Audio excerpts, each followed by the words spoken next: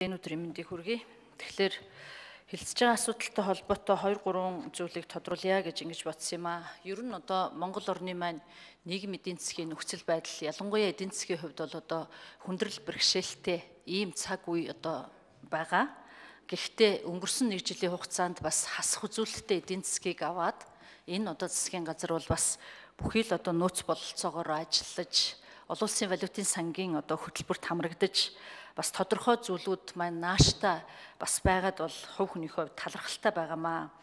Тэгээ нэг зүйлийг э, эхэлж тодруулмаар байна. Тэр нь юу вэ гэхээр олон улсын валютын сангийн одоо хөтөлбөрийн хэрэгжилтийг цааш нь үргэлжлүүлээд явхад ялангуяа одоо нийгэмд хүлээлт үүссэн байгаа энэ багш нар эмч нарын цалинг нэмэгдүүлэх асуудлыг ер нь яаж зохицуулж авч явах бололцоо байгаа вэ? Магадгүй 2017 оны төсвийн одоо жилийн эцсийн байдал ашигтай байх тодорхой хэмжээний одоо үр ашиг харагдаж байгаа бол түүнийг одоо юунд зарцуулах юм урдчилсан одоо төлөвлөлт байна вэ? Сая таны хэлснээр нийгэмд бас нэг хүлээлт үүссэн асуудал бол яалтч байхгүй ард иргэд маань орлогогүй байна амьдрал нь хүнд байна.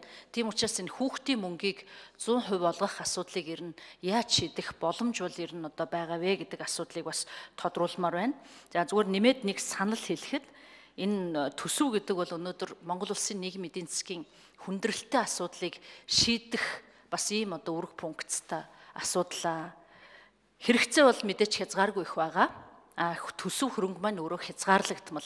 Тэгэхээр сая одоо бас гişүдээ ярьж байгаагаар ер нь бид нар ямар асуудлуудыг энэ одоо эх оны төсөв жилийн эцсийн асуудал дээр анхаарах юм бол ард иргэдийнхээ одоо нуруунд дээр байгаа амьдралын хүнд ачааг одоо хөнгөрүүлэхэд нэмэр болох вэ гэдэг дээр ер нь бас ямар төлөвлөлт одоо хийсэн бэ гэдэг зүйлийг тодруулъя гэж ингэж бодсон юм.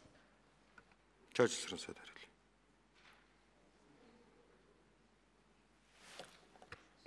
За зөвлөмөг шинэ асуултанд хариулъя.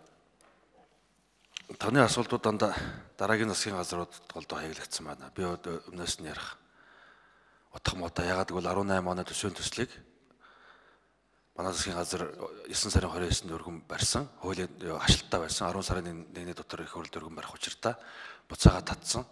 Тийм учраас дараагийн засгийн газар энэ бодлогоодыг оруулж ирэх байхаа гэж бодож байна. 17 оны төсвийн тодтголыг бид боловсруулсан. Бид одоо танилцуулж байна. Хөгтийн мөнгийг бол ард 100% болгох юм л болцоотой. Хүрлбаатар гişүн асуулт асуу. За гурван асуулт